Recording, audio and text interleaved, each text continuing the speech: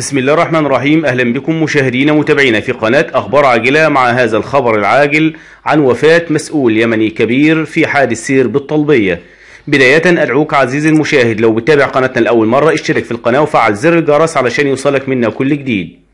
زيارة مفاجئة ومرور مفاجئ وموت أكثر مفاجأة. أمر ينطبق على مصرع اللواء ركن عبد القادر العمودي مستشار وزير الدفاع اليمني لشؤون الموارد البشرية. اللواء ركن عبد القادر العمودي والذي لقي مصرعه اليوم الاثنين في حادث سير بمنطقة فيصل بالجيزة. وأكدت التحريات الأولية أن الحادث قضاء وقدر حيث تبين أنه أثناء تواجد العمودي في شارع سهل حمزة بمنطقة فيصل صدمته سيارة محملة بأسطوانات بوتاجاز ولفظ أنفاسه الأخيرة في الحال.